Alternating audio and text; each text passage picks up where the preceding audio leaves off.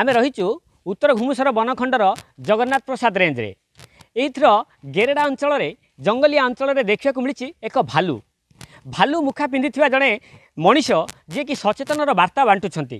ଏବେ ଯେତେବେଳେ ସାରା ରାଜ୍ୟରେ ଜଙ୍ଗଲ ଜଳୁଛି ଏବଂ ଏହାର ତାପମାତ୍ରାରେ ବନ୍ୟଜନ୍ତୁମାନେ ଆତଙ୍କି ଆତଙ୍କିତ ହୋଇପଡ଼ିଛନ୍ତି ସେହି ସମୟରେ ଜଙ୍ଗଲରେ ନିଆଁ ନ ଲଗାଇବା ପାଇଁ ସଚେତନର ବାର୍ତ୍ତା ବାଣ୍ଟି ଚାଲିଛନ୍ତି ଏଠି ଏହି ଅଞ୍ଚଳର ବିଜୟ ପ୍ରଧାନ ଆସନ୍ତୁ ସିଧା ସହିତ ତାଙ୍କ ସହିତ ଆଲୋଚନା କରିବା ସେ କିଭଳି ସଚେତନତା ଏବଂ କେବେଠୁ କରୁଛନ୍ତି ଏଇ ହେଉଛନ୍ତି ଭାଲୁ ଆଜ୍ଞା ମୁହଁଟା ଆପଣ ଦେଖେଇବେ ଇଏ ଭାଲୁ ମୁଖା ତଳେ ରହିଛନ୍ତି ବିଜୟ ପ୍ରଧାନ ତାଙ୍କ ସହିତ ସିଧା ଆଲୋଚନା କରିବା ଯେ ଆଜ୍ଞା ଏ ଯେଉଁ ଆପଣ ଏଇ ଯେଉଁ ଅବତାର ନେଇଛନ୍ତି ବା ଭାଲୁ ରୂପରେ ସଚେତନତା ନେବା ପାଇଁ କାହିଁକି ମନସ୍ଥ କଲେ ସାର୍ ଗୋଟିଏ କଥା କହିବି ମୁଁ ଆପଣମାନଙ୍କୁ ପ୍ରଥମେ ସ୍ୱାଗତ କରୁଛି ଯୁବପିଢ଼ିଙ୍କୁ ସ୍ୱାଗତ କରୁଛି।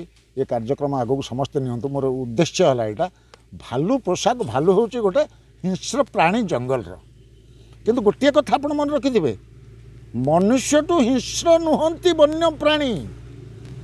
ହେଲେ ମନୁଷ୍ୟ ଆଉ ପଶୁପକ୍ଷୀ ଏମାନଙ୍କର ସହିତ ସମ୍ପର୍କକୁ ଯୋଡ଼ିବା ପାଇଁ ଗୋଟେ ମଣିଷ ଭାଲୁ ରୂପ ଭିତରେ ଲୁଚିକି ରହିଛି। ଇଏ ହେଲା ଉଦ୍ଦେଶ୍ୟ। ଯିବାବେଳେ ଯିଏ ବି ଏଇଟା ଗୋଟେ ଭାଲୁଟା ଆସିଛି କ'ଣ ରେ ଭାଇ ଆସିଲେ ଟିକେ ଦେଖିବା ବୋଲି କହିଲେ ଲିଫଲେଟ୍ଟିଏ ସେମାନଙ୍କୁ ମୁଁ ପ୍ରଚାରପତ୍ରର ରଖିଛି ସଚେତନ ବାର୍ତ୍ତା ଲେଖିକି ରଖିଛି। ମୁଁ ଯେବେ କହିପାରିବିନି ମୁକବଧିର ହେଇଯିବି ବୋଧେ ଆପଣମାନେ ଏଇଥିରୁ ଦେଖିବେ ଏଇଥିରୁ ପାଇବେ। ଅନେକ ଲିଫଲେଟ୍ ଏଥିରେ ଲେଖା ହେଇଛି ଅନେକ ପ୍ରକାର ଲେଖା ଚାଲିଛି ଅବିରତ ଲେଖା ଚାଲିଛି। ଆଉ ବର୍ଷା ଋତୁରେ ବିଶେଷ କରି ଖରା ଋତୁରେ ମୁଁ ଏଇ ଦୁଇଟା ପ୍ରୟାସ ବିଶେଷ ସମୟ କରେ। ଆଉ ସ୍କୁଲ ଗୁଡ଼ାକ ପରିକ୍ରମା କରେ। କାହିଁକିନା ବଡ଼ ଲୋକ ମୋ କଥା କେହି ପସନ୍ଦ କରନ୍ତିନି କେହି ଶୁଣନ୍ତିନି। ସାର୍ ନ ଶୁଣିବାର ବି ଗୋଟେ କାରଣ ଅଛି। ମୋର ବୁଟ୍ ନାହିଁ କି ମୋର ସୁଟ୍ ନାହିଁ ମୋର ଗାଡ଼ି ନାହିଁ କି ମୋର ମୋଟର ନାହିଁ ଆଜ୍ଞା ଗୋଟେ ନିରୀହ ଅପାଠୁଆ ଲୋକ। ସଚେତକର କଥା କେହି କେବେ ଶୁଣନ୍ତି ନା ବୁଝନ୍ତି। ସେଥିପାଇଁ ମୁଁ ସ୍କୁଲ ଯେଉଁ ଛୁଆମାନଙ୍କ ସାଙ୍ଗରେ ସଦାବେଳେ ଆଲୋଚନା କରେ। ସେମାନଙ୍କୁ ଏମିତି ଲିଫଲେଟ୍ ଅନେକ ବାଣ୍ଟିକି ଦିଏ। ଆଶା କରିବି ଛାତ୍ରମାନେ ନିଶ୍ଚୟ ସମଜଦାର ହେବେ।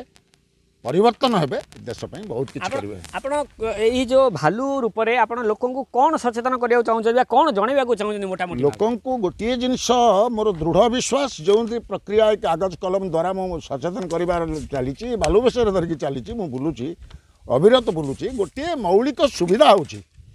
ଆପଣମାନେ ବିଶ୍ୱାସ କରିପାରନ୍ତି ବା ନ କରିପାରନ୍ତି? ଯଦି କିଛି ମୌଳିକ ସୁବିଧା ଆମେ କିଏ କାହାର ସେବା ମୌଳିକ ସେବା ଯୋଗାଇବାର ପ୍ରକୃତ ଆମ ପାଖରେ ଅଛି ସେ ସେବାଟା ଆମ ବଞ୍ଚି ବଞ୍ଚିବାର ସେବା ହଉ କିନ୍ତୁ ତା ସାଥିରେ ଯଦି ଅଧିକାଂଶ ପ୍ରକୃତି ପରିବେଶ ବନ୍ୟ ପଶୁପକ୍ଷୀଙ୍କ ସପକ୍ଷରେ ଯିବ ସେମାନଙ୍କର ସେବା ସୁରକ୍ଷା ସପକ୍ଷରେ ଯିବ। ତାକୁ ନିଶ୍ଚୟ ଈଶ୍ୱର ଭଗବାନ ଆଉ ଏ ଜୀବଜଗତ ଏ ମନୁଷ୍ୟ ସମାଜ ନିଶ୍ଚିତ ଭାବେ ଗ୍ରହଣ କରିବ। ସେ ହେଉଛି ପ୍ରକୃତ ସେବା। କେବେଠାରୁ ଏ ସେବା ଆପଣ କରୁଛନ୍ତି ସାର୍ ଏଇଟା ଗୋଟେ ମୋର ଦୁଇ ହଜାର ଛଅରେ ମୁଁ ପ୍ରଥମେ ଏଇଠି ଆକୃଷ୍ଟ ହେଇଥିଲି। ଆମର ସୁଶାନ୍ତ ନନ୍ଦ ଡି ଏଫ୍ ଥିଲେ।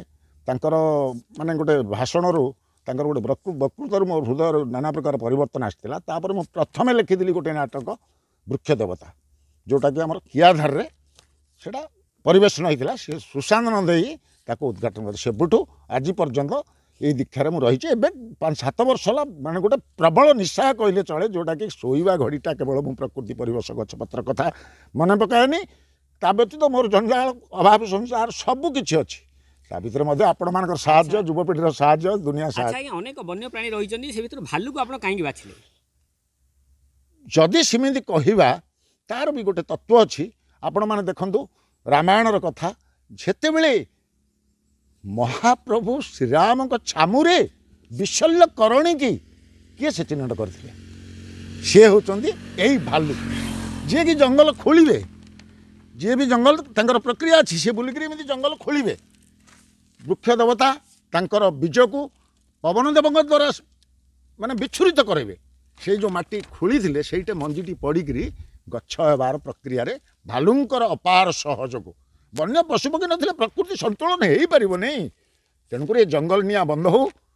ସମସ୍ତେ ଚେଷ୍ଟା କରନ୍ତୁ। ଏଇଟା କେବଳ କୌଣସି ବ୍ୟକ୍ତି ସରକାର ପ୍ରଶାସନ ବା ଆପ- ଆପଣ ଆମେ ଏମିତି ଉଦ୍ୟମ କଲେ ହେବନି ସମସ୍ତଙ୍କର ଭିତରେ ଗୋଟେ ପ୍ରେମ ଜାଗ୍ରତ କରିବାର ହେଲା ଏଇ ଉଦ୍ଦେଶ୍ୟ।